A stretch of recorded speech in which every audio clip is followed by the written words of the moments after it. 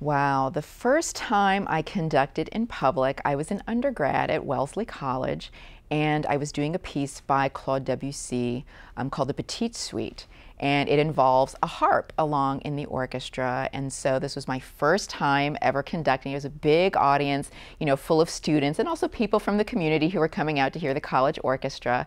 And I was so excited and I wasn't the least bit nervous. I never get nervous conducting when I'm on stage. I get, I get nervous beforehand, but not when I'm on the stage. I feel very comfortable and everything was going very well. And the harp um, I heard this terrible sound in the middle of the orchestra during the concert. I heard this huge twang noise and I had no idea what this was. And of course, we're in the performance, I can't just stop. And I look over at the harpist and she's just kind of miming like, my string broke. Her string had broken in the middle of the piece.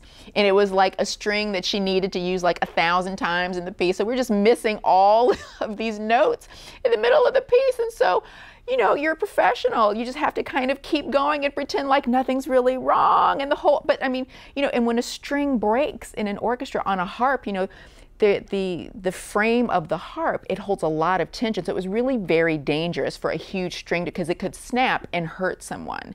And so it was, you know, it turned out it was fine and we got through the performance but that was kind of baptism by fire. You know what else could go wrong? And it was fine. And and you learn you know even when you're performing you just have to kind of stay on your feet stay calm stay in control and everything will work out especially when you have great musicians who are professional as well